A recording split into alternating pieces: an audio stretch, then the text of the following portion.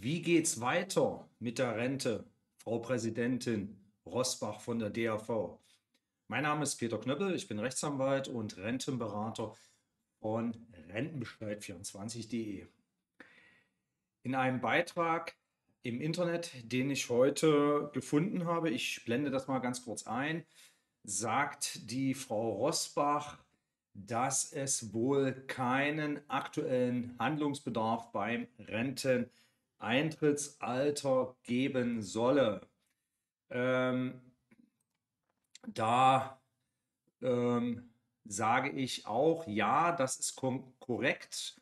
Warum sollten wir das Renteneintrittsalter, was wir aktuell schon stufenweise vom 65. Lebensjahr auf das 67. Lebensjahr angehoben haben, nochmals erweitern. Das ist gar nicht unser Problem.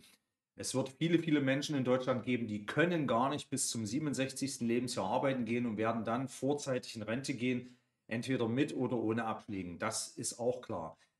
Aber die Botschaft, die hier Frau Rosbrach sozusagen ähm, sendet, dass man doch noch genügend Zeit habe und erst, äh, wie es dann weitergeht mit dem Renteneintrittsalter und wie es vielleicht auch weitergeht mit der gesetzlichen Rentenversicherung, mit der Zukunft, dass man da bis 2031 Zeit hat, das halte ich für sehr gewagt, liebe Frau Rosbach.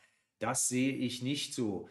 Die aktuellen Zahlen geben uns mittelfristig bis 2025 Zeit. Danach wissen wir überhaupt nicht, wie es dann äh, mit der gesetzlichen Rentenversicherung für die Zukunft aufgestellt ist. Aktuell das dürfte klar sein, haben wir keine Finanzierungsprobleme in der gesetzlichen Rentenversicherung. Aber wenn die Babyboomer kommen und die werden kommen, die werden in Rente gehen, wir merken das ja aktuell auch in unserer Anwaltskanzlei, wird es dann deutlich heftiger werden für die deutsche Rentenversicherung. Und dann geht nämlich die Frage los, wer soll das dann alles noch bezahlen, wenn wir immer mehr Rentner bekommen und weniger Beitragszahler. Also das Thema mit der Anhebung der Regelaltersgrenze vom 67. Lebensjahr dann noch höher, das halte ich für einen völlig falschen Weg.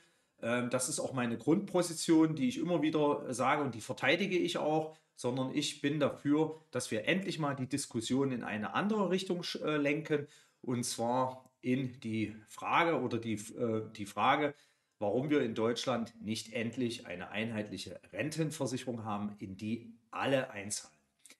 Näheres zu diesem Thema finden Sie auf www.rentenbescheid24.de.